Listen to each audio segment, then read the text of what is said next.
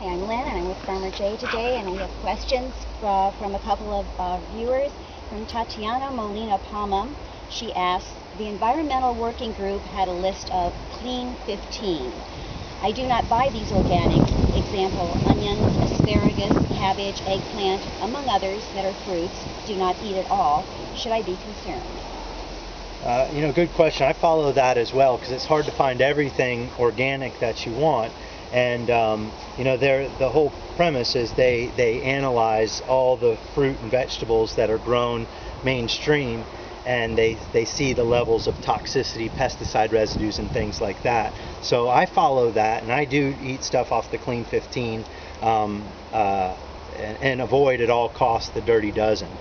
Um, so I think it's a safe thing to uh, follow.